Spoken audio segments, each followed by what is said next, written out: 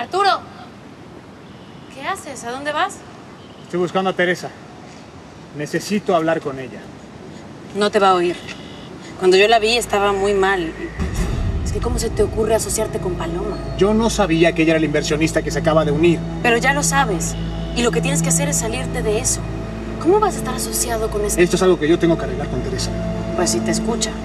Porque estaba muy indignada y tiene razón. No, no lo tiene. No voy a discutir esto contigo.